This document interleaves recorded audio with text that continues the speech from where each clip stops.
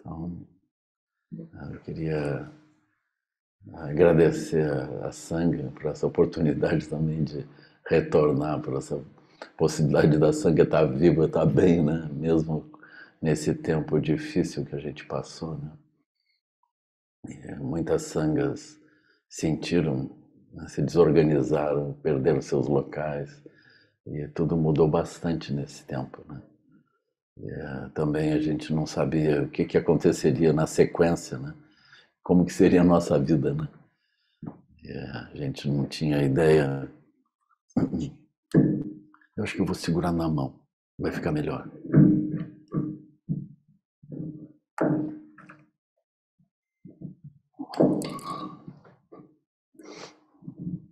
Aí a gente não sabia como que, que o que, que aconteceria depois né, nas nossas vidas também. Né.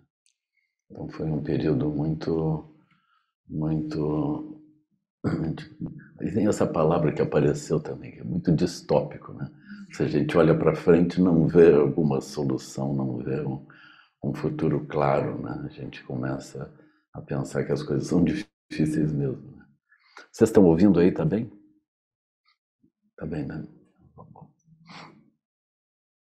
E nesse período eu fiquei no Bacupari especialmente, né? E para mim foi super bom, né? Porque eu tinha uma regularidade. E, é, então estava junto com o grupo que estava em retiro, porque quando começou a, a pandemia, tinha um grupo em Viamão, que tava, podia baixar um pouquinho o ganho? Tinha um grupo em Viamão que estava em retiro, né? Aí eles tentaram ir embora, voltar para as casas, já não estava mais sendo possível. Teve uns que chegaram na rodoviária lá para viajar, não tinha mais como viajar. Aí fazer o quê? Né? Fazer retiro. Aí nós fomos pro. Aí o grupo todo foi para o Bacupari. Né? Foi um tempo assim mágico, né? Porque a gente para fazer a reunião a gente fazia um grande círculo na rua, assim, no espaço de fora, todo mundo com máscara. Né? Foi assim. Né? E lá ninguém pegou covid, né? Então a gente estava bem isolado. Nós mantivemos dentro do prédio e uh, o supermercado entregava as coisas lá também. As, as verduras, as frutas vinham também até lá. Então ficou fácil assim para nós. E a gente estudando, meditando, estudando, meditando. Foi super bom, pessoal. Aí quando terminou o Covid, eu pensei, pá, que pena. Como? Vai voltar tudo agora? Não. Nós queremos continuar mais uns anos assim. Mas os jovens sentiram, né? O Thalita e o Henrique ficaram dentro de um quarto por dois anos, praticamente. Né? Eles não viram os amigos. Não... Agora vocês imaginem, a Thalita tinha 11, foi dos 11 aos 13 sem ver os amigos, né? Aí não fica muito bom, né? O Henrique também, ele sentiu um pouco. Então aí, agora, a vida voltou. E é como se fosse uma, um, um reaprendizado para eles, né? De reencontrar os amigos e, e eles estão fazendo tudo que é possível, assim, jogando vôlei, treinando boxe, fazendo academia, indo no restaurante com os amigos. Eles estão assim, né? Então é bonito. Então as vidas vão se reorganizando, assim, né? E para nós, eu acho que os budistas têm essa capacidade de lidar com esses casos, porque, enfim, a impermanência para nós não é uma novidade, né? A gente ouviu isso sempre, né? Mas foi uma coisa grande. Na verdade, nós também estamos no meio de um período agora, né? Vamos supor que o Covid tenha se transformado numa numa doença mais normal, assim, que nós estamos lidando como se fosse uma coisa menos grave, né? Mas tá certo, os casos de internação estão se, redu se reduziram muito, né? Mas nós estamos com conjunturas internacionais complicadas, grandes transformações né, coisas difíceis assim. A gente está vivendo momentos que quando a gente vai vivendo o dia a dia, a gente não se dá bem conta do tamanho das transformações. Né? Mas a gente, nós estamos no meio de uma transformação super importante. Assim. E, então esse, enfim, é o nosso tema. Né? como é que nós vivemos nossas crises individuais e as nossas crises sociais, as nossas crises pequenas e as nossas crises grandes, assim, né? como que a gente vive isso. Então nós somos esse laboratório, nesse tempo assim, né? Então, uh, as receitas para isso, né, uh, que a gente já testou na sanga, elas são todas super favoráveis, né? Só que muito difícil de implantar isso num sentido amplo. Né? Então, eu acho que, uh, por exemplo, para nós, dentro das várias áreas rurais, eu acho que a crise ela não é tão intensa, né? Mas eu vejo assim até mesmo a importância das áreas rurais, como aqui o Sucavate, o Caminho do Meio, Bacupari, Jatavana, e Abirate, e o Seve Recôncavo, Darmata, né? Eu acho assim de grande importância nesse tempo, porque ah, nós vamos provavelmente precisar acolher as pessoas também. Volta e meia os jovens escrevem para mim. Agora, quando eu tive no Dharmata, ah, teve uma jovem que ela me perguntou o que, que o Lama diria para uma pessoa de 19 anos, assim no final do retiro, né? Então é muito comovente. O que eu diria para uma pessoa de 19 anos? Né? Porque os desafios são grandes, né? Então, como que a gente pode andar? Eu tenho visto várias pessoas que também se desorganizaram um pouco dentro do mundo, né? E a gente precisaria apoiar de algum modo, ajudar, sendo que as áreas rurais elas são melhores para isso. Então, por exemplo, aqui no, no Sukhavati, né? Ah, tem experiência de agricultura, tem, nós temos captação de água, nós podemos captar energia também, nós podemos andar em direção, uh, não vou dizer uma autossuficiência, mas uma redução da, uh, da dependência das coisas que a gente precisa comprar e precisa fazer para se manter vivo. Né? Por outro lado, quando nós temos várias dessas ações andando, uh, surge repentinamente uma direção do que a gente deve fazer um dia depois do outro e tem um certo sentido assim do que fazemos. Então isso é super importante porque dentro do mundo como ele está organizado agora ou como está desorganizado agora, nós estamos meio sem rumo, pessoal. Né? Eh, por exemplo, eu venho de um tempo que se a pessoa faz a universidade, ela tem mais ou menos tudo bem resolvido. Além do mais, a pessoa tem bolsa de estudo, aquilo tudo anda, né? Foi a minha realidade. Eu não enfrentei uma realidade distópica. Eu enfrentei uma visão que nós tínhamos questões ambientais, nós tínhamos questões de vários tipos, mas a gente não pensava assim, o futuro como é que vai ser? Será que tem um futuro? Em que direção nós vamos? Então nós estamos encontrando o final de um tipo de, de civilização, por incrível que pareça isso. Nós estamos vivendo esse final. A gente não tem como manter a expansão da economia do jeito que ela vinha. Né? E uh, essas impossibilidades associadas com, com uh, disparidades de renda e um sectarismo crescente, ela vai levando ao surgimento de uh, pessoas que vão ficando excluídas. Elas não encontram lugar. Né? Então vai surgindo os refugiados econômicos, né? Assim, se a gente olhar, por exemplo, a situação do, nos Estados Unidos, parece que tem uma epidemia de gente na rua, assim, né? Então isso é muito comovente, porque o que vai acontecendo lá termina aparecendo por todo lado. Aquilo começa por lá, né? Eh, então, eu, na verdade, eu vim aqui trazer soluções, só estou trazendo mais problemas. Essa parte aqui da lição eu fiz. Eu, como é que são os problemas, né? A parte da solução nós vamos deixar para, no final, de nós vamos recitar um mantra e vamos encerrar assim. Essa é a ideia.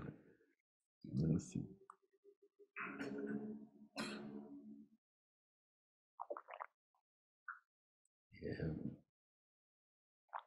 Então nós estamos com esse desafio, a gente precisaria entender isso, sabe? Compreender essa questão como é ela está sendo colocada para que a gente possa olhar.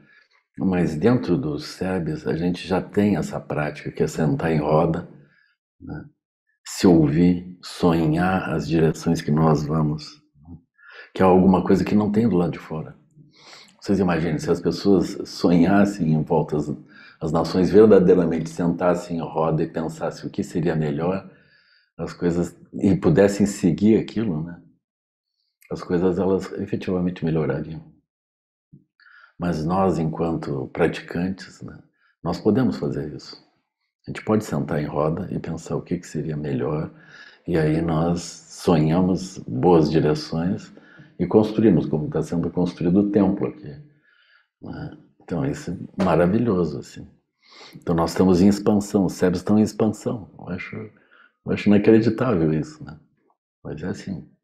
Por exemplo, agora a gente também vai começar a construção do templo no Bacupari. Nós estamos com várias ideias como que nós estamos funcionando já há um tempo os três centros integrados, né? que é o Caminho do Meio, o Bacupari e o Jatavana. O Jatavana é um lugar, tem 180 hectares, é um lugar, acho que um, um que outro de vocês conhece, né? alguns conhecem. Um lugar, uma floresta de, de araucárias, assim, um lugar super bonito, junto com Mata Atlântica, né? um lugar, assim, floresta antiga, né? E com, eh, fica na beira dos cânions, lá entre o Rio Grande do Sul e Santa Catarina. Então a gente, a gente caminha até a beira, assim, vê os cânions, e vê o mar ao fundo. Um lugar belíssimo, assim. Tem onças também, para quem gosta de uma coisa mais, assim, emocionante, né? Meditar à noite, é super bom, um lugar aberto, assim, acho com certeza. Enfim, né? Praticar poa, transferência de consciência, assim praticar toda, né? Invocar os demônios aquilo vai aparecer tudo, com certeza. Então é um, é um lugar super bonito. E as pessoas que querem meditar assim, isoladas, é um bom lugar. O Bacupari já é um lugar uh, ah, 100% para meditantes.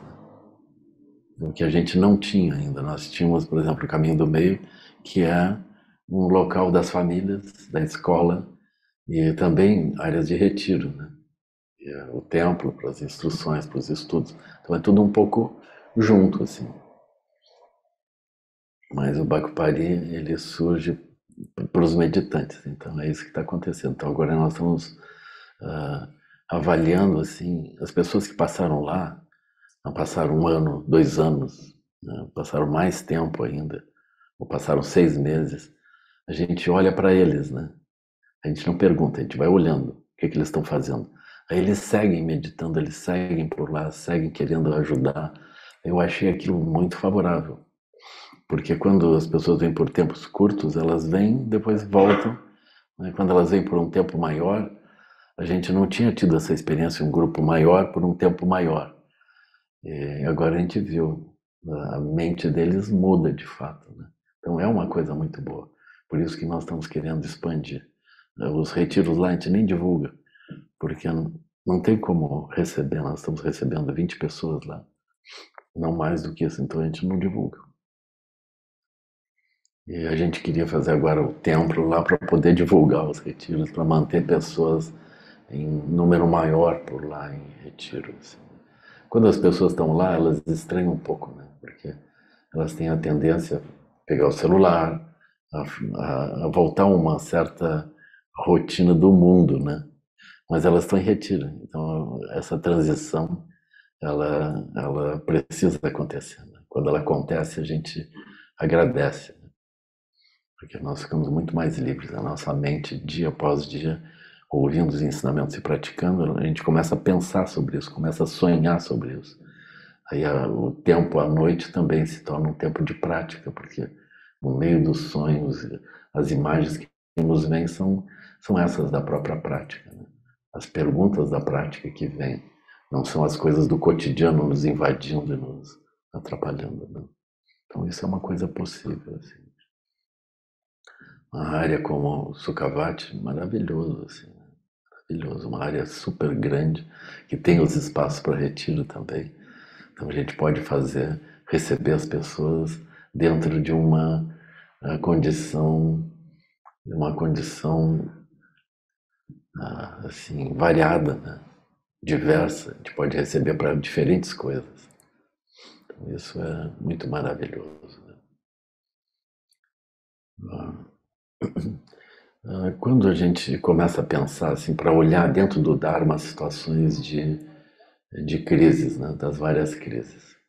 Eu tenho, ultimamente, eu comecei a introduzir um outro tipo de, de argumentação e análise, né?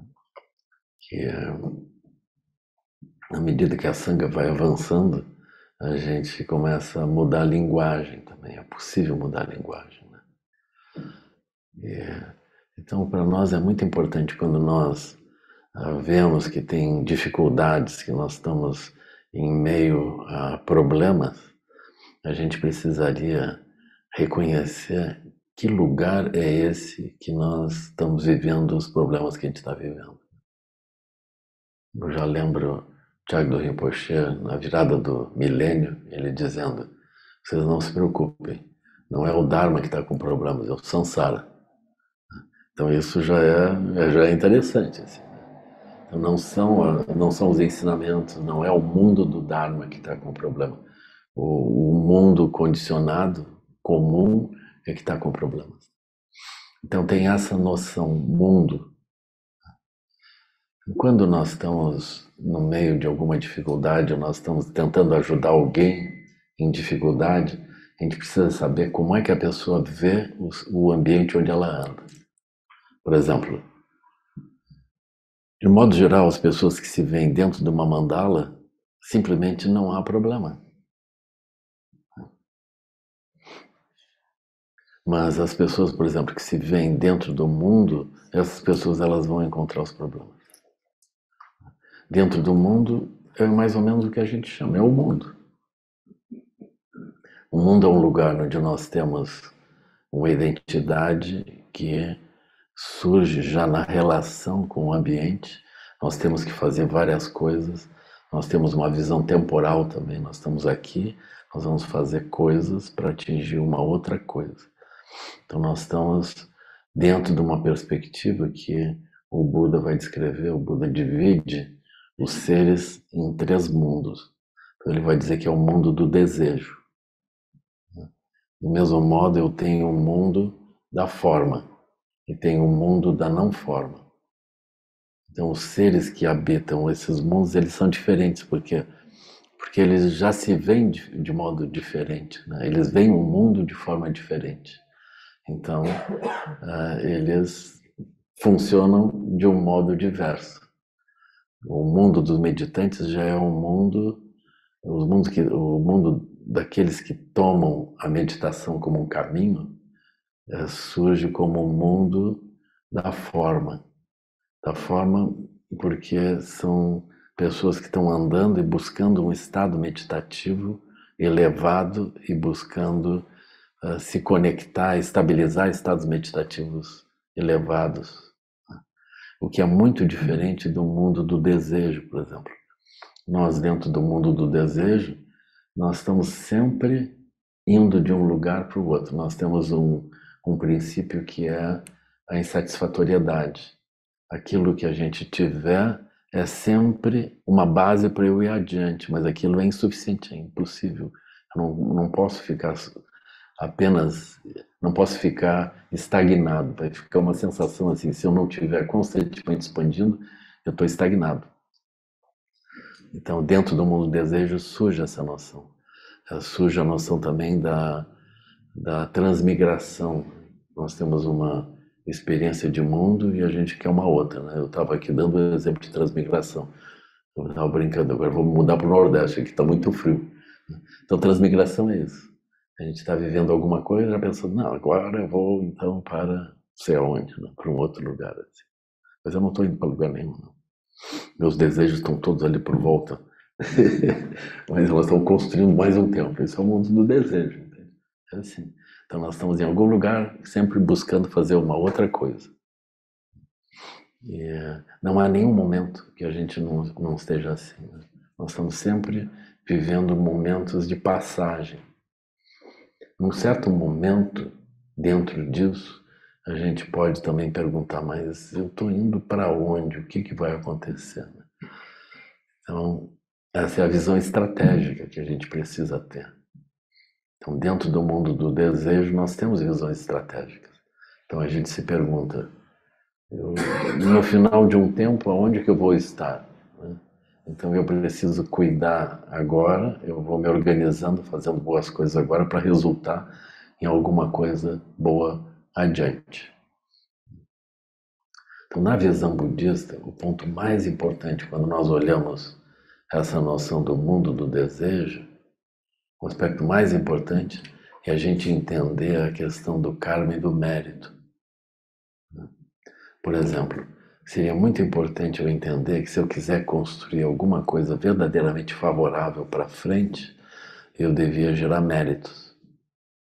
E eu não devia gerar karmas. Se eu gerar karmas, eu vou ter muitos problemas. Isso num sentido muito amplo, muito geral. Só que essa observação ampla e geral, ela se aplica a todo o conjunto de coisas imagináveis que eu posso vir a fazer, eu posso pensar que eu vou me tornar. Né? Por exemplo, se as pessoas elas vão ser administradores de empresa, vão andar dentro do mundo econômico, vão fazer movimentos dentro disso, é super importante que todas as nossas ações elas sejam ações que vão produzir benefício para os outros. Porque se as nossas ações vão produzir problemas, nós vamos ser, num certo momento, nós vamos ser barrados, pessoal. É assim. Então vocês vejam, a Coca-Cola hoje está vendendo água mineral. Assim, está fazendo concorrência para ela mesma, vendendo suco de frutas. Ela comprou a Del Valle, porque vender só Coca-Cola, no final de um tempo, o pessoal acha que não é uma boa ideia comprar Coca-Cola. Né? Então, é assim. Aí nós precisamos ir mudando. Nós precisamos mudar, nós precisamos fazer boas coisas. Então, isso é gerar méritos e não gerar karma. Ah, quando nós estamos dentro do mundo, muitas vezes a gente pergunta: o que, que eu vou ser? Como que eu faço para ser vitorioso no mundo? Então, essa noção de vitória no mundo, ela frequentemente é um obstáculo. Nós temos que perguntar como é que eu vivo dentro do mundo produzindo mais benefício e causando menos problemas. Esse é um ponto, assim. Mesmo quando a gente pensa uh, sobre a perspectiva da sustentabilidade, né, das questões ambientais, isso se aplica diretamente, porque porque a gente vai precisar trazer mais benefício e causar o mínimo possível de problemas que a nossa vida cause menos impacto em meio ao mundo, porque aquilo que se mantiver vivo nos tempos que vêm são justamente as áreas que vão produzir menos impactos. Todas as áreas que estão produzindo problemas, elas vão passar por muitos problemas. Então é como se a gente tivesse é como se a gente estivesse chegando num tempo onde a gente vai precisar olhar com muito cuidado as nossas ações individuais e ações sociais, né? ações coletivas. Isso é a perspectiva de mundo. É uma perspectiva na qual nós queremos vitórias, a gente quer que os nossos filhos tenham vitórias, que todos estejam bem, que tudo ande, que a gente tenha saúde.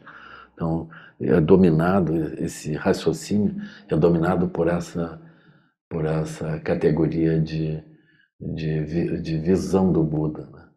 que é, isso é o que no budismo é chamado de o caminho da acumulação, acumulação de méritos né, e redução dos karmas. Né.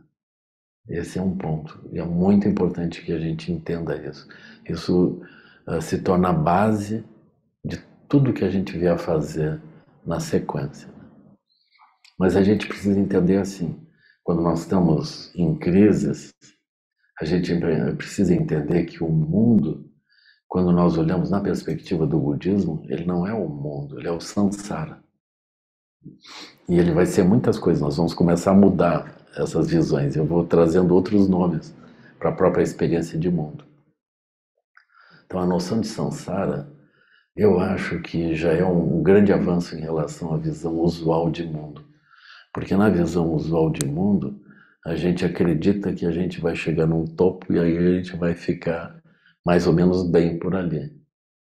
E a noção de samsara é uma noção na qual nós já entendemos que uh, existe a impermanência. Por exemplo, nós nascemos, vivemos e morremos e a gente não chega a uma vitória final. Vocês já olhem assim, a gente frequentemente pensa, quando está no mundo, a gente pensa, está faltando recursos, faltando apoio. Mas vocês pegam os times de futebol, tem um monte de recursos, um monte de apoio. Mas ainda assim, só um vai ser o vencedor ali. E terminou aquele campeonato, já começa o outro. Eu gosto sempre de lembrar o Flamengo nessas situações, né? porque em princípio parece que é a própria glória, né? Então vocês já vão olhando. Aí o Atlético Mineiro, parece que é a própria glória. Aí tá ali os problemas, todos acontecendo. Eu não vou nem, nem lembrar do Grêmio, porque enfim, não quero me deprimir hoje.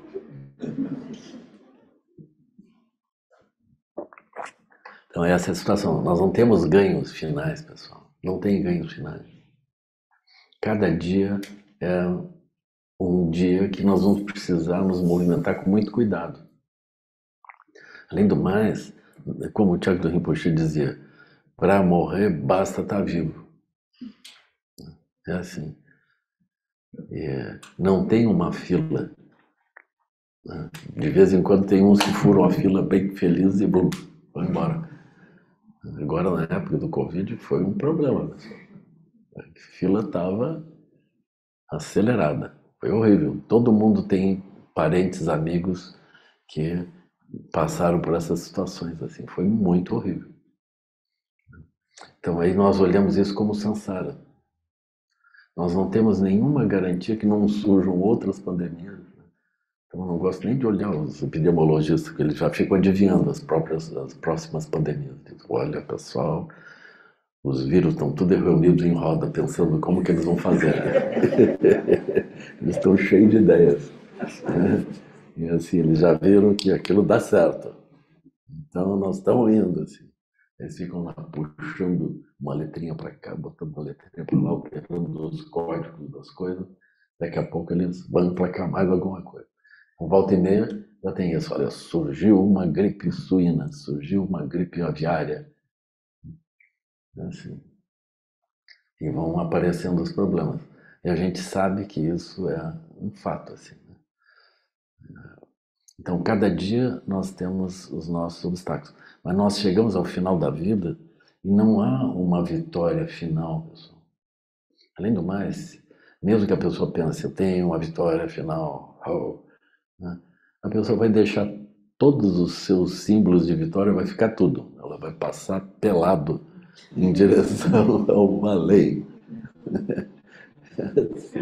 Eu não quero preocupar ninguém, pessoal, mas não vai fazer diferença.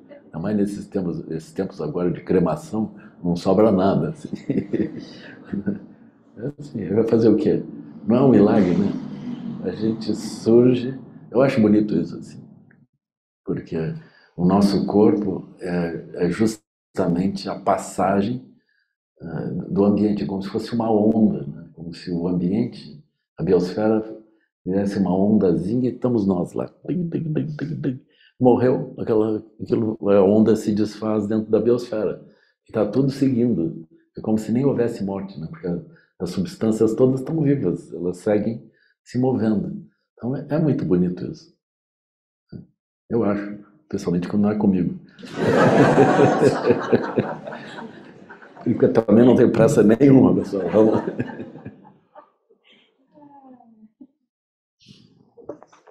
Eu acho assim, bonito para lá, bonito para lá, assim. Umas ondas do, da biosfera. Isso é super lindo. Assim. Mas, então tem essa, tem essa natural situação. Então nós, enquanto as nossas identidades, aquilo é, é de entristecer, né? A gente vai vendo assim no leste europeu, né? Volta e meia eles derrubam mais uma estátua daquela época. Né? Tem mais um Lenin, pum, derruba um Lenin, pum, derruba Assim, é, é, é, incrível isso. Né? Então, as pessoas elas surgem com a sua glória, mas a glória não resiste, né? ela passa. Assim. O máximo que pode acontecer é a pessoa virar múmia e morar num museu. Que não era a ideia mesmo. Né? A pessoa ficou múmia lá, bom, múmia para a eternidade. Mas não, vai parar dentro do museu. Aí termina sendo roubado. O museu é atacado, aquele é roubado. É, é incrível isso. É assim. Eu acho mais seguro virar fumaça mesmo. Mas isso é o que a gente vai chamar de samsara. Ou seja, não tem garantias. Eu não sei como é que brota dentro do mundo a noção da vitória, entende? Porque a vitória, ela não existe.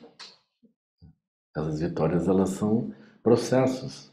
Elas são tipo campeonato. Agora um time melhorou, outro time piorou. Aquilo vai indo.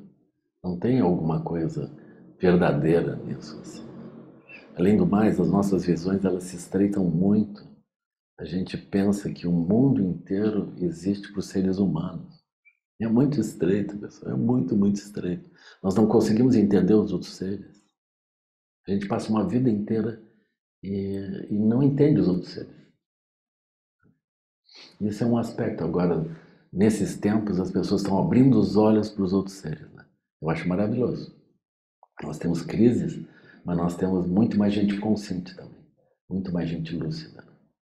Então, hoje a gente está vendo que os seres são inteligentes, eles têm emoções, eles se cuidam, mesmo espécies cruzadas, eles se cuidam. Né? Tem muitos exemplos, muitos filmes disso. Ah, então, esse é um ponto interessante. E a nossa noção de, de mundo, a gente vê que ela é muito estreita, é um mundo humano. E se nós olharmos com um pouco de cuidado, esse nosso mundo humano, ele é um mundo quase que europeu. Né? Nós estamos presos a um antropocentrismo, ou seja, uma visão humana, e dentro de uma visão uh, eurocentrista ainda, ou seja, a civilização é o, ela brota do centro da Europa. Né? Aquilo são os nossos referenciais. Nós temos muitas dificuldades de entender os outros povos que operam de um outro jeito. É como se eles fossem uns povos estranhos, assim. É, perdedores, né? Todos. É bonito de ter, botar eles para dançar aqui, dançar ali, tirar uma foto, tudo bem. Né? Mas não é isso, pessoal. Eles têm outras visões de mundo. A gente pensa, uau, cheios de deuses, tudo muito estranho, né? cheio de crenças. Pessoal, eles veem o mundo sutil. Né? É assim. Nós não temos o tempo para isso. Né? Nós estamos, uh, num certo sentido, assim, esmagados pelo, pelo extraordinário que é o céu acima de nós. É um infinito, nós não entendemos isso acima de nós, isso está em cima da nossa cabeça todos os dias. A gente perdeu a sensibilidade, não vê mais. Aí os povos, eles se, eu vi eles se denominando assim, os, as nações antigas, né? os povos antigos.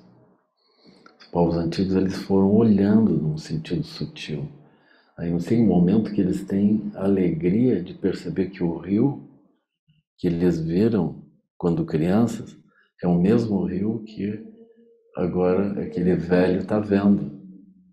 Aquele rio hoje está alegrando as crianças de hoje e alegrou as crianças de ontem e vai seguir alegrando as crianças de sempre.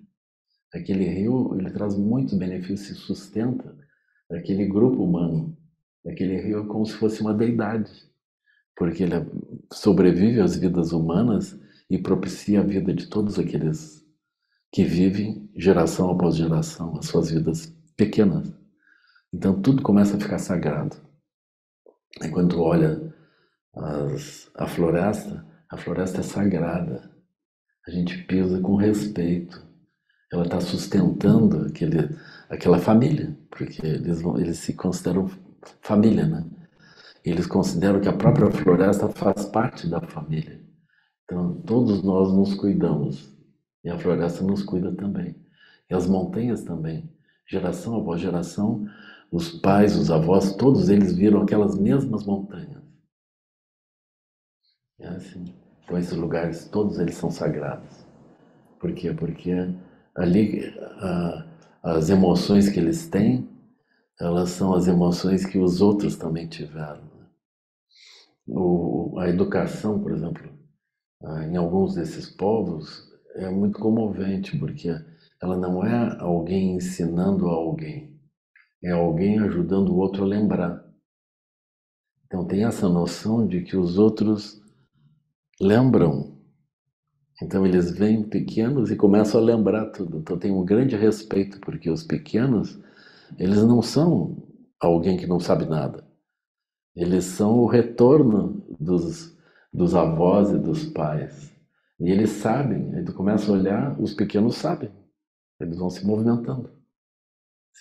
Então é muito óbvio que nós precisamos fazer é ajudar eles a lembrar e andar melhor dentro daquele mesmo mundo. Né? Então a realidade ela é mágica, ela é maravilhosa. Mas dentro do samsara nós podemos esquecer isso, né? nós podemos perder isso. Eu já não vou dizer que é esse tempo de hoje, né? mas quando nós começamos a viver uh, uma vida mais artificial, mais e mais artificial, nós vamos perdendo a capacidade de reconhecer as deidades que vivem e que nos mantiveram vivos nesse tempo todo. As deidades que conviveram com os nossos pais, com os nossos avós, com os nossos bisavós, os mais antigos. E nós perdemos essa capacidade de entender isso. Então, isso é o samsara. Nós perdemos essa visão.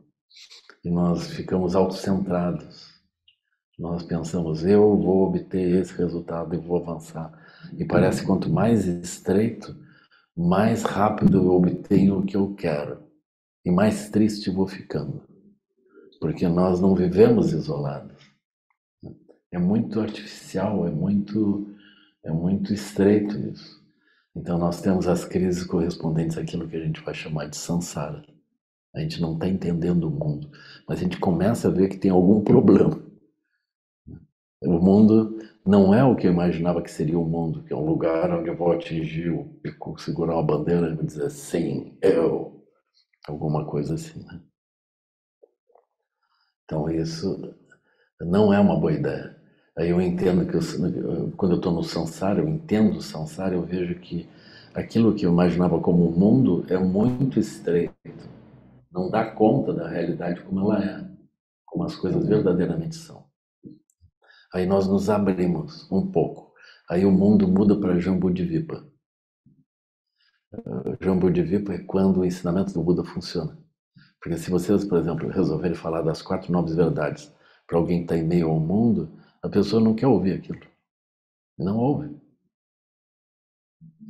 Parece que nós somos algum radical, algum, algum ser muito estranho assim. Mas Aí nós ouvimos as quatro nobres verdades. O Buda vai falar da verdade de sofrimento, primeira, né?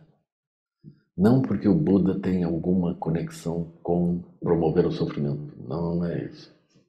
Na verdade, o Buda tem uma visão muito positiva da vida. É, na visão budista, na terceira nobre verdade, o sofrimento cessa. Isso é uma boa coisa, pessoal. Né?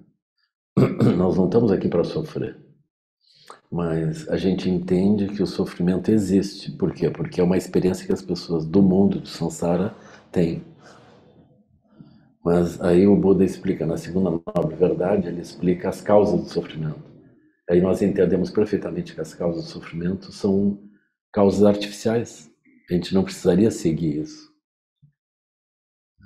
Aí vem a terceira nobre verdade, que o Buda explica como que o sofrimento pode cessar. Então eu acho sempre super favorável isso. Aí vem a quarta nova verdade. A gente tendo entendido as causas do sofrimento, tendo entendido a cessação do sofrimento, aí nós olhamos para os outros seres e a gente pensa, não precisa sofrer, cara. Não, não é por aí. Não precisa. Então, naturalmente, em nós, quando a gente entende a possibilidade da liberação do sofrimento, em nós brota um brilho para ajudar os seres a sair daquilo. Isso é o que vai nos impulsionar no caminho. Mas dentro da eh, de Jambudvipa tem um estudo detalhado sobre o sofrimento, sobre as causas do sofrimento. Então isso está descrito na roda da vida. E eu ia dizer no detalhamento desse aspecto da roda da vida também. Então eu acredito que muitos de vocês conhecem a roda da vida.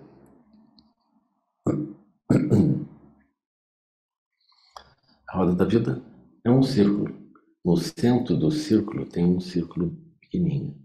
Nesse círculo pequenininho tem três animais, que é o javali, o galo e a cobra. O javali somos nós. Oh. Por quê?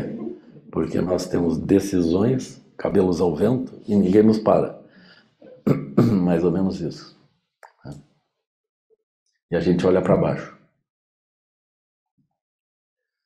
E associado ao javali surge o galo. O galo é a situação de que nós estamos constantemente ocupados ciscando, assim, fazendo alguma coisa. Então, para manter o javali, o javali para poder se manter está constantemente em ação. Isso é simbolizado pelo galo. Agora, quando o javali e o galo estão operando, nós temos uma fragilidade. Por quê? Porque as coisas que estão sendo feitas pelo javali e pelo galo podem ser interrompidas, podem ser atrapalhadas, podem ser várias coisas. Portanto, surge a cobra, que é o terceiro animal.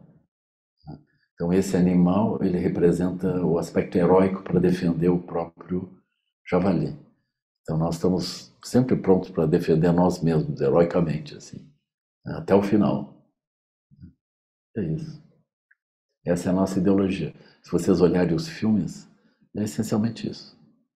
Quando as coisas estão piores, os filmes são mais ainda cobra, o tempo todo. Ou seja, como que alguém é herói e bate nos outros, e atravessa tudo, e não vê nenhum limite. Né? E, e essas coisas entram em ressonância com as pessoas, senão os filmes não existiriam. Então elas entram em ressonância com o universo mental, a pessoa se sente representada ali dentro, assim, de algum modo. Então, esses são os três animais. Na sequência, tem um aro em volta desse. Esse é o Buda explicando o mundo explicando como é que as coisas se perturbam para as pessoas que não estão vendo. Então, uh, como é que o Buda explica? O Buda vai explicar que as pessoas que estão presas dentro disso são o javali, o galo e a cobra. Se a pessoa não estiver operando com o javali, galo e cobra, não vale a sequência dos raciocínios. A pessoa vai para outro ambiente, outro mundo. Mas quem está operando com javali, galo e cobra vai passar então pelo pela situação do primeiro aro, que é assim, ah, de um lado a pessoa está caindo, do outro lado ela está subindo. Então é natural que a gente caia e que a gente suba. Então, durante a nossa vida nós vamos cair muitas vezes, vamos subir muitas vezes, e não há um lugar seguro. Esse é o ponto. Depois disso tem uma outra faixa que está dividida em seis secções. As secções é assim, elas representam a situação do Monte Meru. Né? O Monte Meru é o universo mítico uh, de Jambudvipa. Não é um universo denso, material, mas ele surge como se fosse. Ele é uma descrição do mundo mental. Então, em Jambudvipa, para os seres que estão no Sansara, surge uma grande montanha. Esse é o ambiente onde elas vivem. Essa grande montanha, no topo dessa grande montanha, vivem os deuses de felicidade. Então é como se nós olhássemos para o mundo a gente pensasse: no topo de uma montanha estão aqueles os seres felizes. Eu estou aqui na base. Eu aspiro ir para esse lugar onde ha, eu vou relaxar, ficar tranquilo. Então a vida é isso, a vida é galgar essa montanha e chegar nesse topo. Pronto, entendi. Então essa é a sensação do mundo interno das pessoas que estão no meio do, do, do que a gente chamaria de mundo ou samsara. Elas acreditam que tem um lugar que, que vai subindo e vai ter um topo né, maravilhoso lá, está tudo resolvido. Então seria um mundo de felicidade lá em cima. E o Buda explica: esses deuses lá, eles constroem aquilo, mas aquilo não é estável. De tanto em tanto aquilo cai. A gente pensa, bom, mas então, será que tem alguém que está lá em cima firme? E a gente descobre que não. Então nós não vamos encontrar ninguém que tenha chegado nesse topo, de fato, e tenha encontrado o que o topo está prometendo. Né? Mas a gente segue pensando que aquilo pode ser um bom lugar.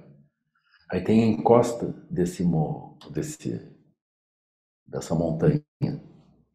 Na encosta estão os semideuses. Não são os deuses, mas são os semideuses. Então vocês vão ver que nós, humanos regulares, nós estamos na base, nós estamos com problemas.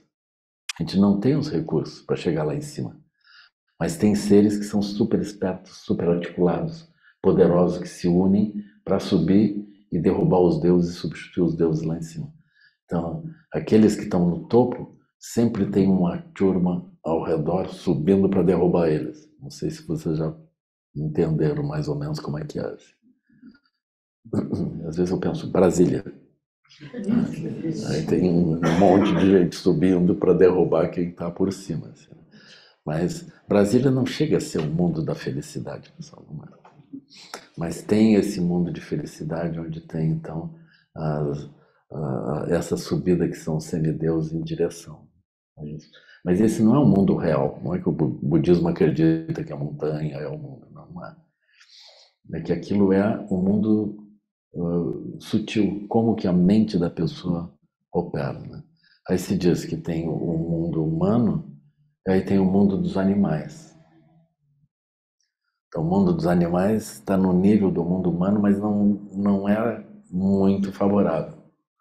Aí abaixo disso tem os seres que estão com uma sensação de carência. E bem abaixo, lá, oposto ao reino dos deuses, lá no fundo, o que, que tem lá no fundo? Os infernos. Então, lá embaixo, estão seres que a gente não quer nem olhar, nem pensar. Eles estão escondidos num lugar, e lá é o lugar de sofrimento. Então, é como se fosse um mapeamento das nossas possibilidades. Isso está dentro do mundo do desejo. Acima desses deuses de felicidade tem Yama. Não sei se vocês viram uma. Assim, na roda da vida tem um, ser com uma cara horrível, assim, acima.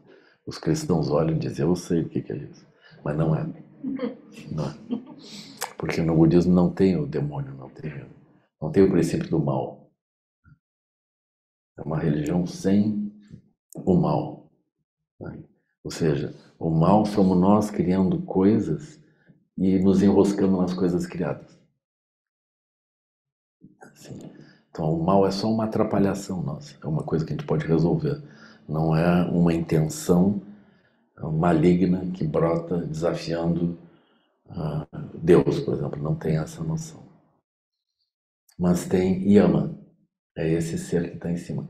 Yama, pessoal, a gente tem que ter muito, muito cuidado, porque Yama é o julgador, é aquele que está dentro de nós julgando. Não sei se vocês já viram assim. Do tipo, eu quero galgar o topo, mas eu não estou conseguindo aprender inglês o suficiente. Agora já, já vi que eu vou ter que aprender chinês também, então estou meio desistindo. É, é assim, eu acho que. Um dia pensei que eu tinha que aprender japonês, mas não é, é chinês.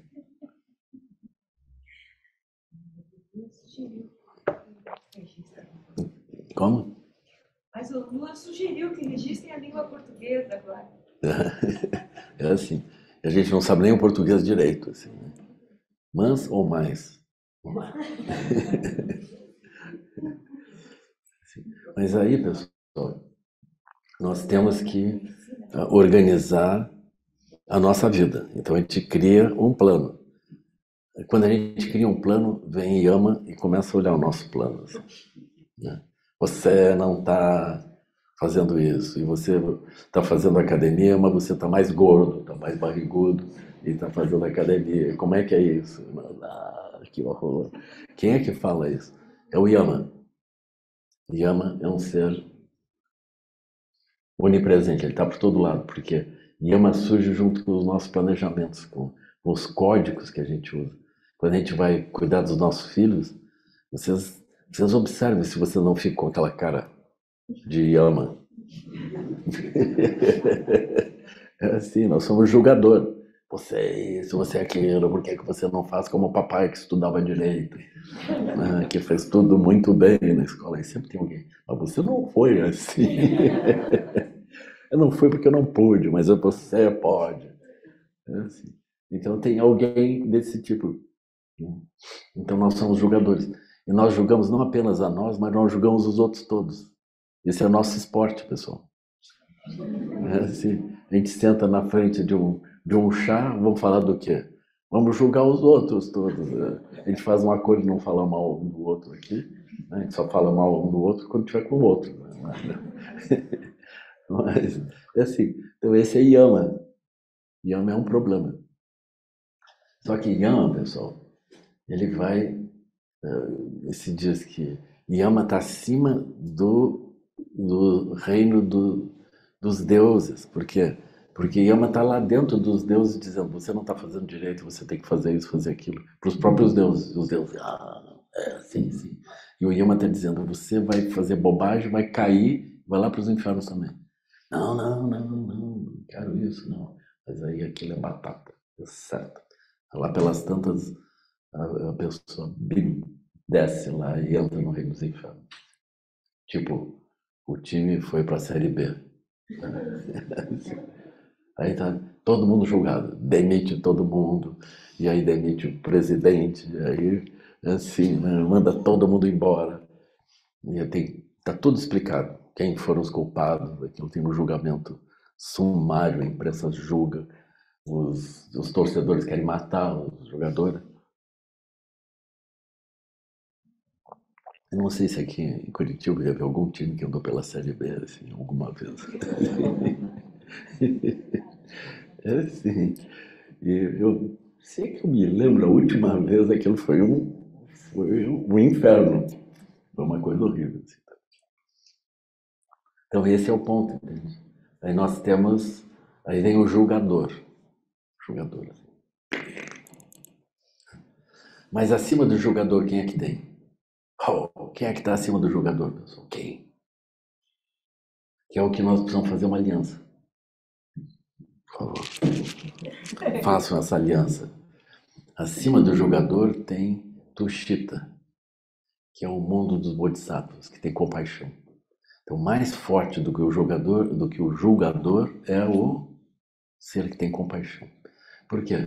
Porque tu provar que as pessoas estão fazendo tudo errado é fácil. Então, está todo mundo fazendo as coisas erradas, o que, que eu tenho que fazer? Eu tenho que ajudá-los.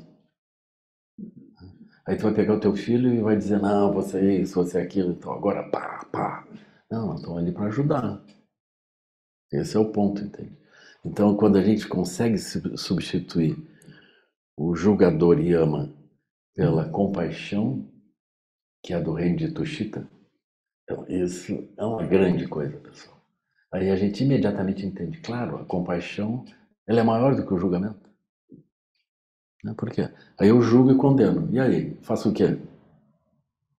Na verdade, eu preciso sempre resolver isso com compaixão e ajudando o outro ser a funcionar melhor.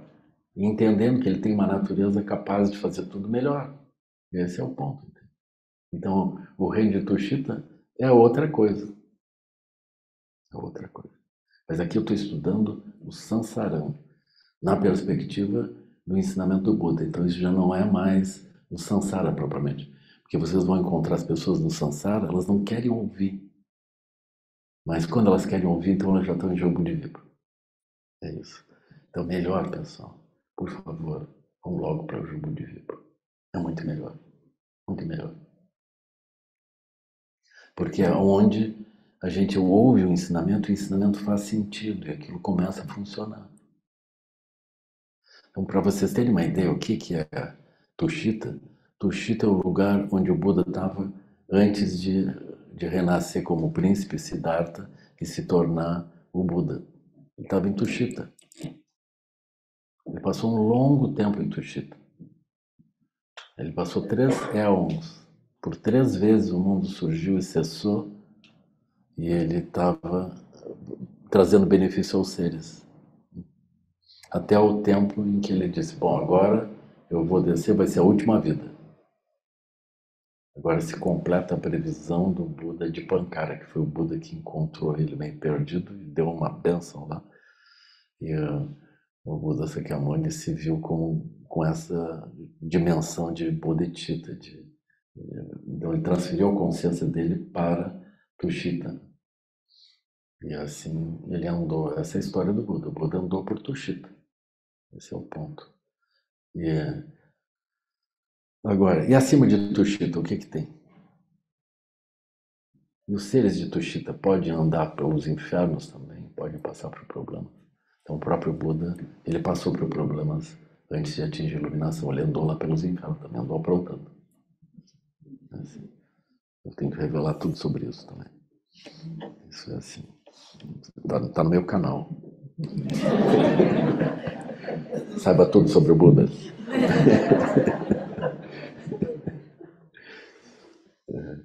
Como é que é? é... Tem uma expressão de... É quando tu vai fazer a, a fofoca gospel.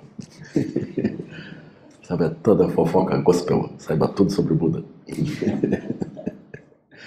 Mas aí tem algumas situações assim porque o aspecto de compaixão no mundo ele não é muito fácil.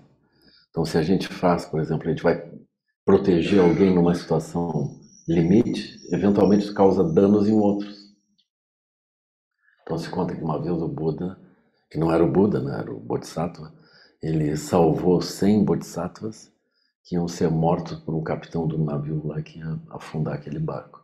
Ele matou o capitão, salvou, salvou os, os bodhisattvas, mas ele teve raiva do capitão. Aí ele foi para os infernos. Mas um bodhisattva não fica muito tempo nos infernos. Se vocês andarem pelos infernos, eu tenho uma dica para vocês. Vamos supor que vocês, enfim, dá algum problema. Né? Vocês estiverem lá, vocês não abandonem a noção de compaixão.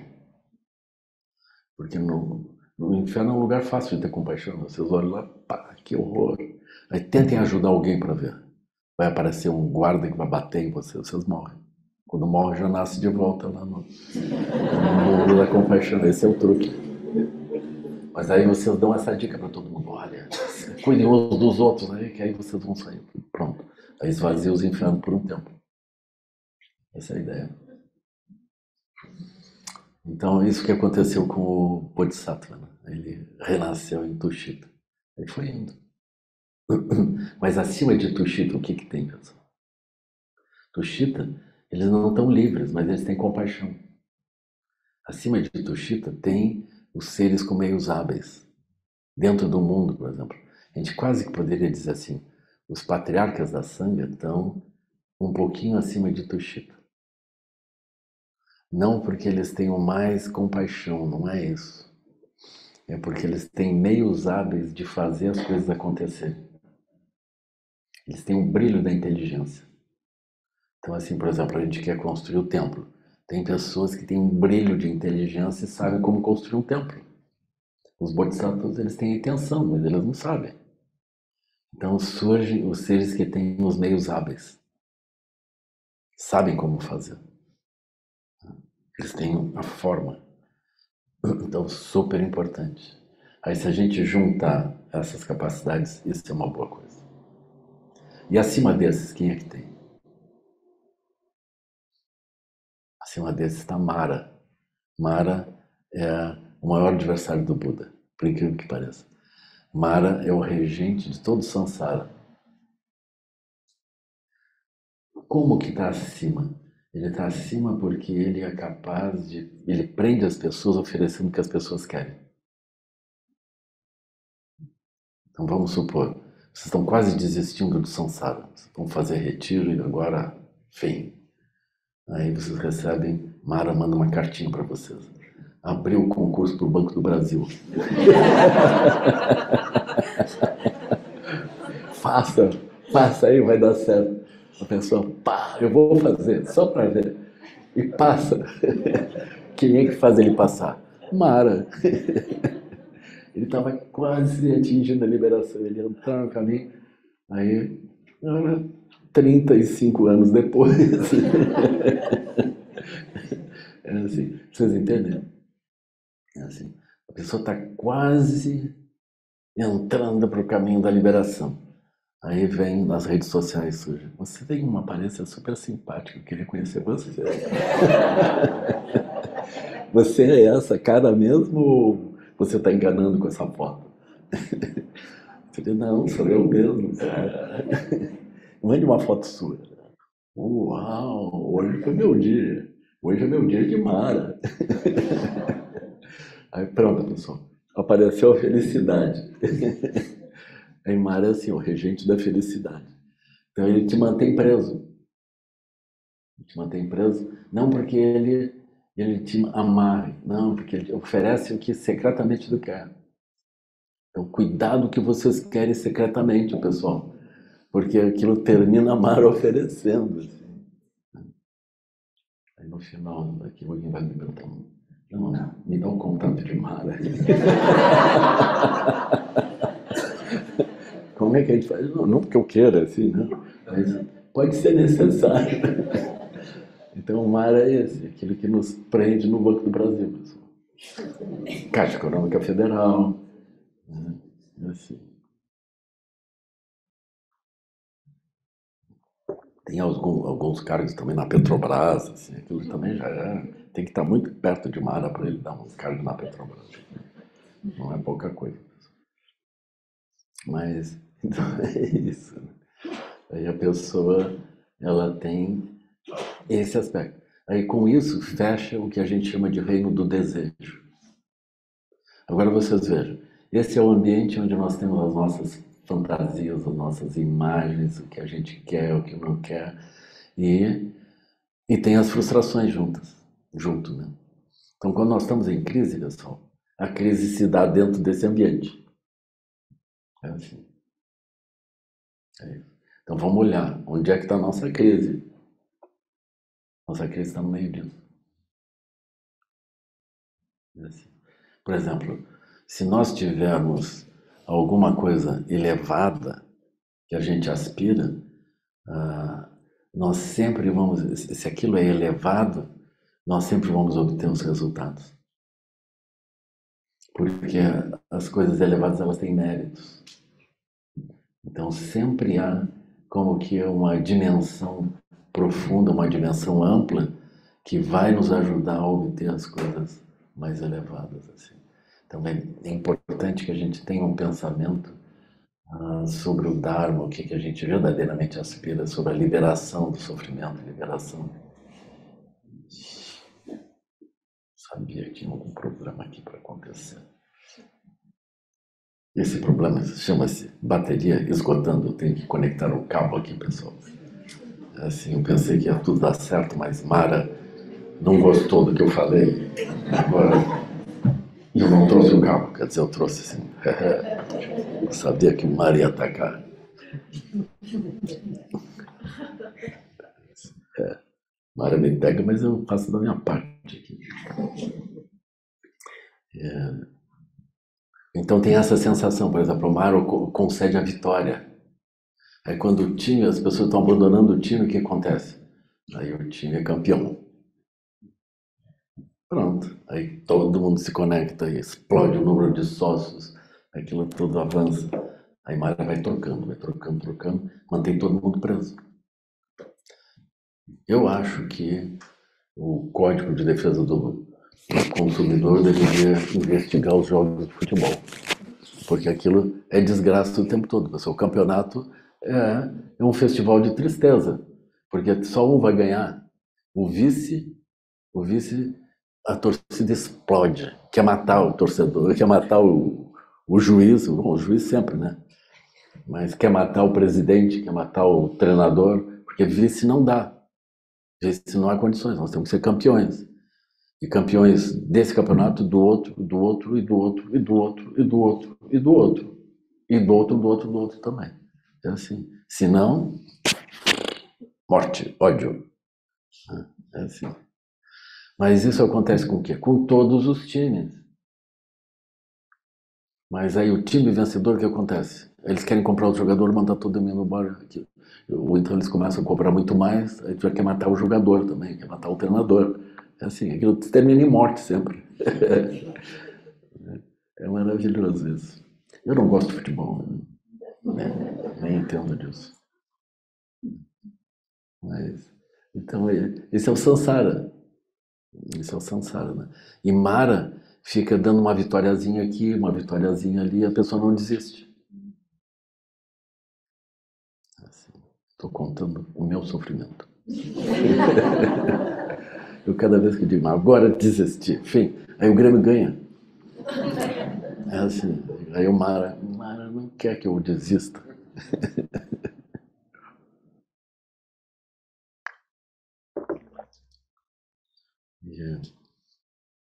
Bom, mas isso corresponde ao mundo do desejo. Vocês veem que todos esses movimentos se dão com desejo. Eu estou num lugar querendo uma outra coisa. É isso. Mundo do desejo. Não vai dar certo. Não vai dar certo.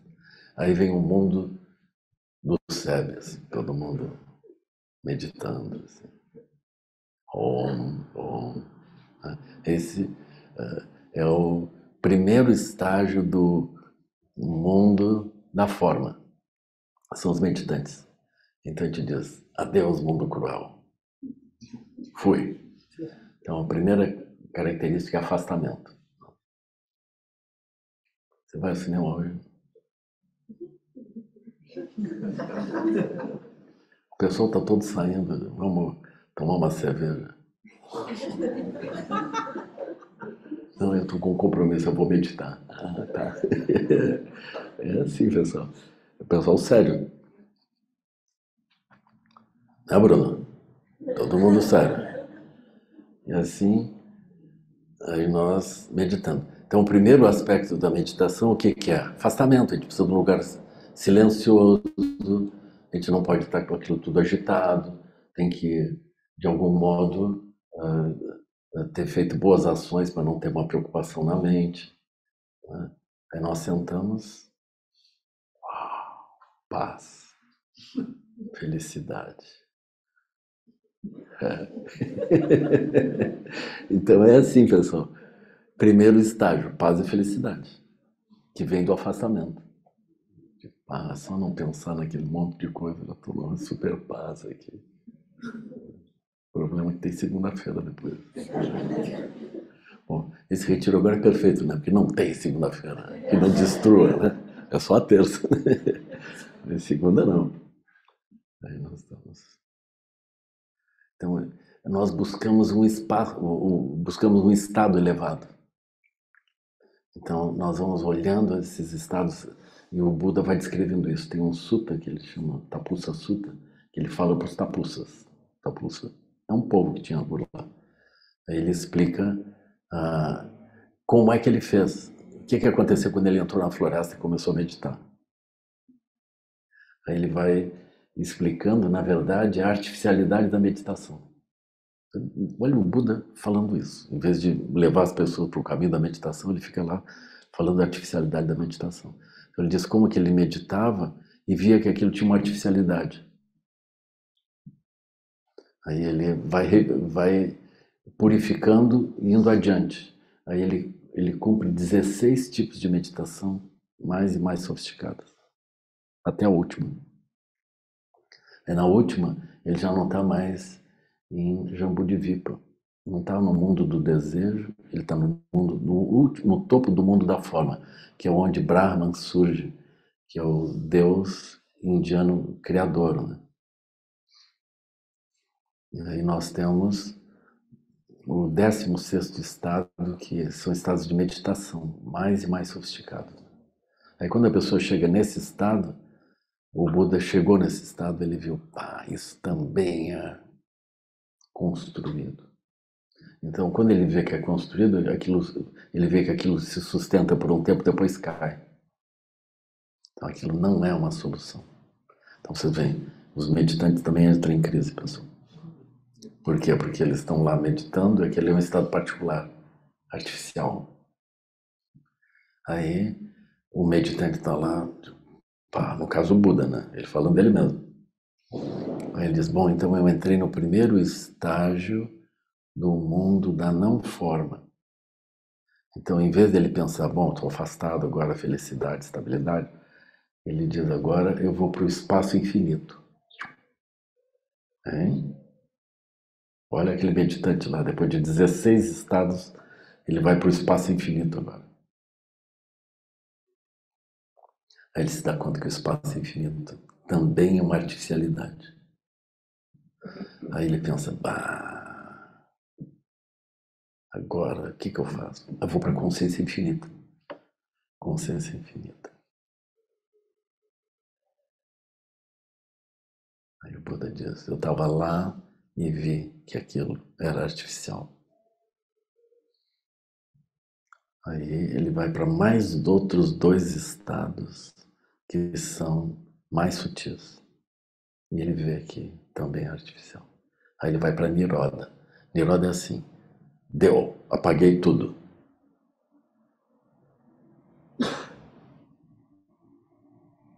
Então é o estado de apagamento completo, Niroda.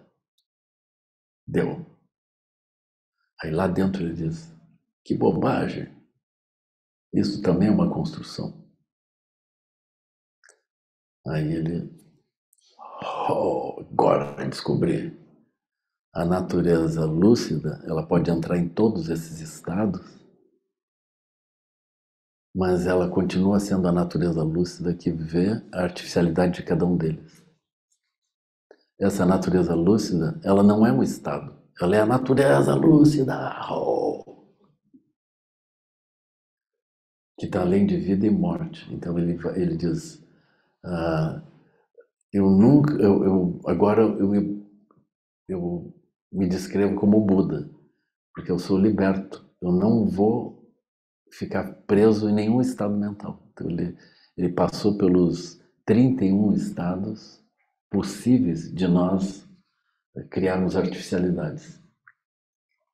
Então ele vai descrever essa capacidade lúcida com a capacidade que nós já temos. Todos nós temos essa capacidade lúcida. Ela está presente dentro de nós. Aí surge uma categoria de ensinamento que é a contemplação da capacidade lúcida. E esse é um ponto que vai ser chamado de Tathagata Garbha. Então, quem seguiu os ensinamentos lá do, do Surangama, por exemplo, que a gente percorreu, né? Então, o foco era Tathagata Garbha. Agora, Deixa eu ver que dia. Sem ser nessa quarta. Na outra, nós vamos começar o estudo desse texto que é o Taratantra Shastra, que é o texto que trata de Tathagata Garbha. Então, uma tradução desse texto que é, uma, é um, é um ensinamento de Maitreya. Então, Maitreya fez esse ensinamento que vai ser, que foi comentado por Jamgon Kontru, o primeiro, o grande, e também pelo Kempo Tsutren Gyamtsu. Então nós vamos percorrer isso. Porque esse é o foco, é o foco central do budismo, que é localizar a natureza búdica. Então esse é o tema. Agora, quando vocês olham isso, pessoal, quando nós estamos olhando esse panorama, a gente pensa, e a minha identidade está onde? Onde é que eu estou no meio disso? Nós já estamos esfumaçados, pessoal. Né? Já... A perspectiva do mundo, ela já sumiu. Nós estamos agora olhando os enganos da mente, como que as coisas são, como é que as aparências surgem, como que essas coisas todas surgem. Então, a nossa crise, a gente, para reinsetar a crise, a gente precisa ir voltando e voltando até o Sansara, pelo menos. Ou até o Jambudvipa. Jambodivipa já não serve muito, porque a gente olha para aquilo, a gente já diagnostica. Para a gente ter uma crise direita, nós temos que estar ou no samsara ou no mundo. O lugar mais comum para nós termos uma crise é no mundo. A gente volta, enfim, estou em casa de novo. Amanhã, segunda-feira, vamos. Tchau, eu estou iniciando um novo programa disso, daquilo. E aí nós estamos nos engajando. Aliás, o que, que aconteceu ontem no jogo? E como é que foi isso? Aí nós estamos assim mundo do desejo, aspirando a alguma coisa, tendo todas as frustrações correspondentes, fazendo esforço, nunca chegando a nada, final, e de tanto em tanto a gente se dá conta, bah, o tempo tá, vai terminar, vai terminar o tempo. Né? É assim. E a, e a vida vai se esgotando pelo meio dos dedos, pessoal. É assim. A pessoa envelhece, mas a dimensão interna da pessoa não envelhece. Ela é a mesma coisa. Só que a pessoa vê que o tempo está passando. É assim. Então, melhor se mover. É melhor andar em Jambu de Vipa direto, pessoal. E começar a praticar. É isso. Então, eu queria trazer essas coisas tranquilizadoras para vocês. é.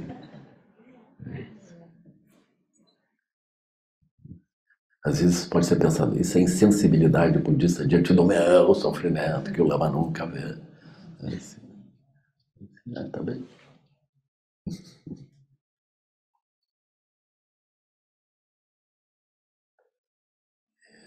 Então eu vou parar nesse ponto. Talvez tenha alguma pergunta aqui.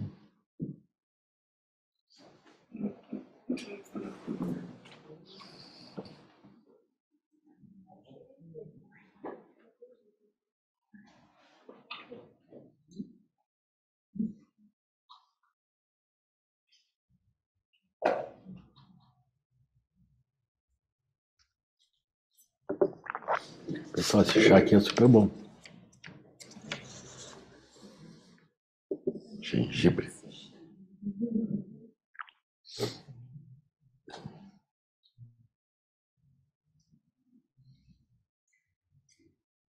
Queria depois disso que alguém viesse e dissesse eu tenho problemas.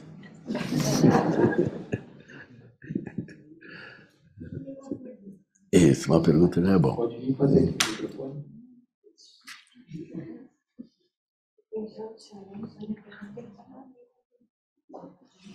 Tem o próximo A pessoa tem que atravessar tudo aqui. que coisa. Boa noite. Eu queria saber a respeito assim, do, da busca espiritual. Também é uma subida de montanha? Como que é? Ah, essa é uma boa pergunta. Porque aqui, nesse caminho, busca nesse uhum. planeta, uhum. o nosso ego é uma uhum. coisa bem chata, que é verdade. a nossa vida. É. E aí tudo, o ego vem uhum. incomoda, então até que ponto essa roda da vida, se não é também essa felicidade, eu achar que eu encontrei o, o caminho espiritual ideal, enfim, falar um pouco sobre isso. Não, acho que está bem colocado. Sendo o budismo é o, é o caminho, aí não tem problema. Não, essa, essa colocação é muito apropriada, porque no budismo isso é chamado de materialismo espiritual. Né? Então, Trungpa Rinpoche ele vai falar sobre isso. Então a gente pensa, bom, a coisa não está dando certo por aqui por ali, mas temos o caminho espiritual. É, eu sou um ser espiritual andando no caminho espiritual, e aliás eu já fiz tais trajetos, já fiz, já andei tais coisas, né? então pode surgir isso também. Assim. Mas, enfim, na verdade nós vamos ter que perdoar a identidade nesse caso, assim, sabe? Porque a gente não tem como andar sem a identidade. Então a identidade vai andar um tempo conosco. Depois ela, ela vai esfumaçando porque nós vamos cruzar das oito consciências para cinco sabedorias. Quando a gente cruzar essa essa dimensão, ela desaparece naturalmente, assim, sem precisar ser derrubada. Porque, por exemplo, quando nós estamos usando a sabedoria do espelho, nós estamos olhando para os seres na perspectiva deles. Então é uma ação da nossa mente mas ela está olhando os outros seres, como que eles estão operando. Aí tu tem a sensação que aquilo é tu, mas não é a tua identidade. Aí quando tu usa, por exemplo, sabedoria da igualdade, é, as oito consciências são a essência do mundo condicionado.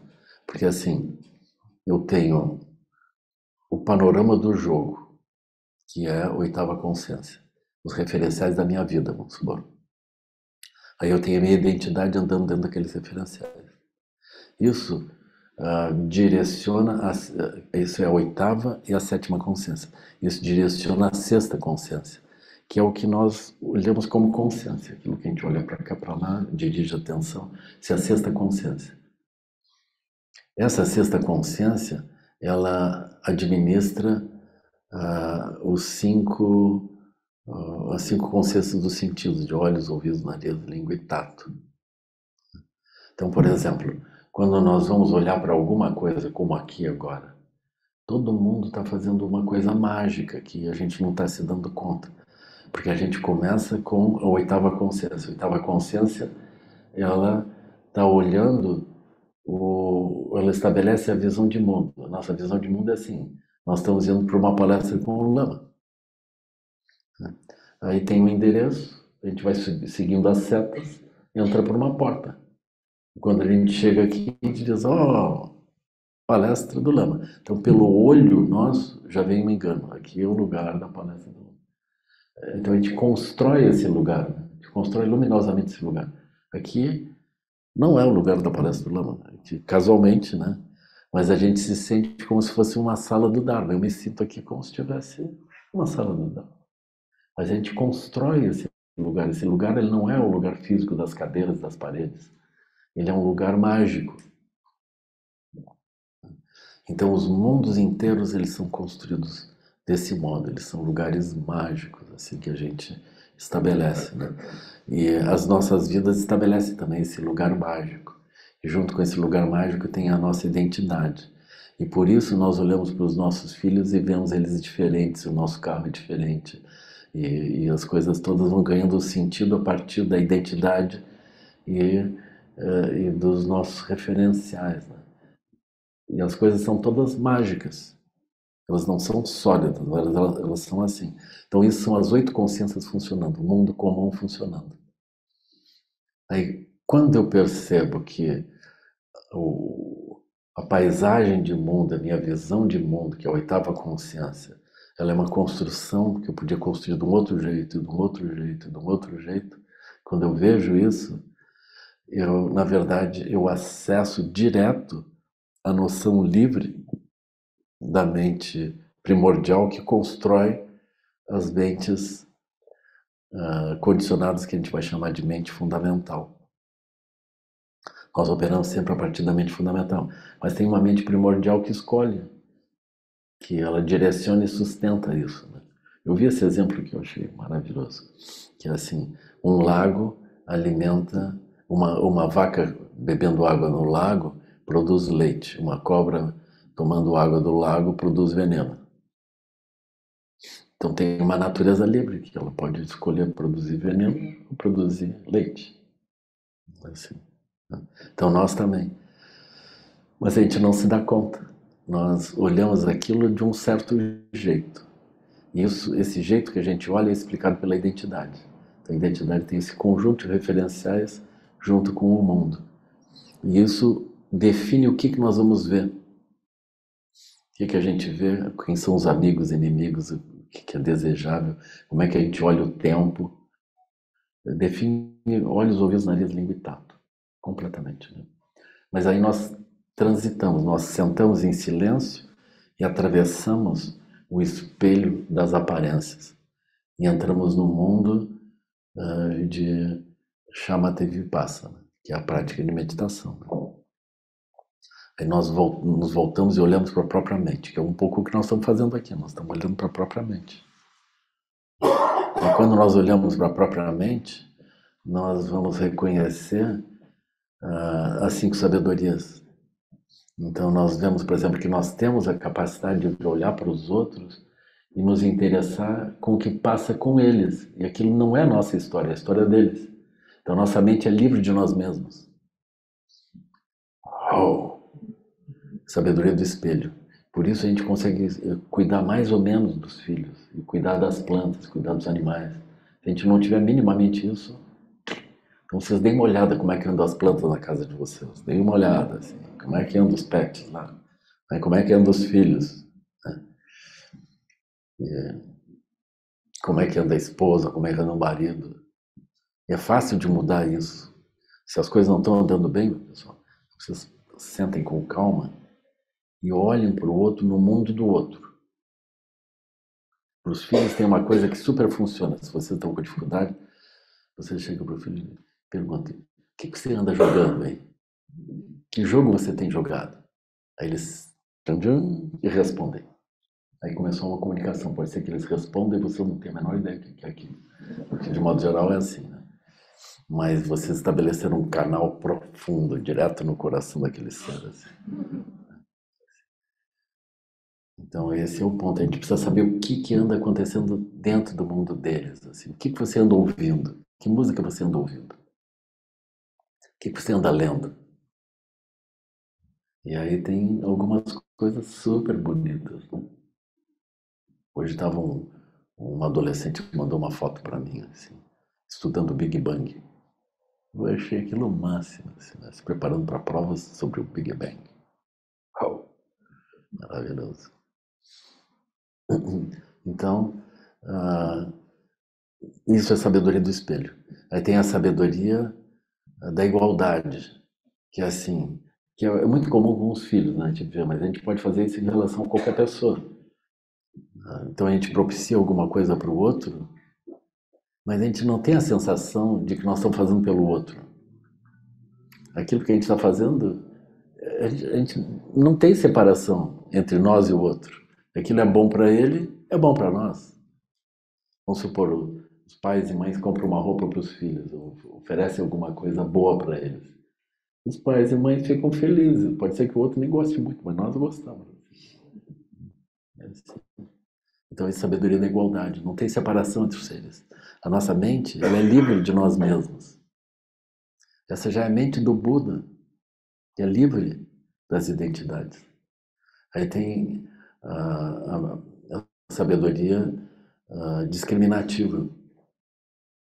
Então, pela sabedoria discriminativa, nós podemos descrever as quatro nobres verdades, ou seja, tem o sofrimento, as causas do sofrimento, a liberação do sofrimento e o caminho para a liberação do sofrimento. Tudo isso é possível. E surgem os múltiplos mundos, nós entendemos esse funcionamento todo. Aquilo parece super especial. Então tem uma sabedoria que ela está no silêncio. Quando ela olha as coisas, ela entende as coisas, como elas foram construídas. Porque ela é uma sabedoria que olha como que a mente faz para aquilo aparecer, como se fosse real. Isso é a base da sabedoria discriminativa. Aí tem a sabedoria da causalidade, ou seja, os meios hábeis. Como é que a gente faz para a coisa dar certo para o outro? E para nós mesmos também. No meio de tudo isso, que é o ponto central, tem a sabedoria de dar mata, que é a compreensão da natureza última, que não tem condicionamentos, não tem limitações. E como que ela se manifesta em meio ao mundo inteiro, como se fosse o princípio ativo que cria o mundo inteiro. Porque a ilusão, pessoal, ela é criada pela natureza luminosa da mente, ela cria aquilo. E aí depois de criar, nós ficamos jogando dentro daquilo, é como um jogo de tabuleiro, alguém criou aquilo. Né? Então criou como? Não criou pelas peças, criou pelo software, pela, pela mente, pelo aspecto luminoso da mente. Então quando a gente vai jogar, aí surge o jogador, surge o ambiente todo e nós jogamos. Aquilo é tudo luminoso, não é real. As nossas vidas também não são reais. Elas são luminosas. Aí, a, a quinta sabedoria, a sabedoria da mata, vê o aspecto mágico de, das realidades em todas as direções. Isso nos ajuda, por exemplo, a ultrapassar a noção sectária de escolher uma visão, escolher uma tradição, escolher alguma coisa assim. Por quê? Porque os seres todos eles estão operando dentro dos seus mundos, das suas formas. Essas formas, todas elas são construídas. Então não tem razão para eu ficar criticando uma forma e privilegiando outra. Todas são formas construídas.